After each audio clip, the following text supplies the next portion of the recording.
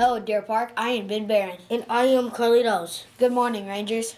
Today is Thursday, November 16th, 2017, which is also National Fast Food Day. Yes! For lunch today, we'll have a choice of hamburger or cheeseburger. Yum. Don't forget, tomorrow's the last day to bring in foods and goods for the Ranger Food Roundup.